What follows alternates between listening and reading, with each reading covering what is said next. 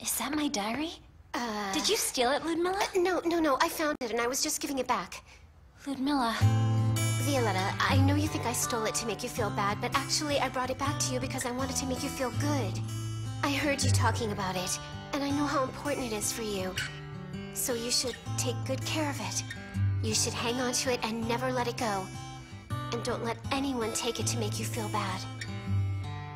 You're a strong person. And you have to stay that way even through rough times.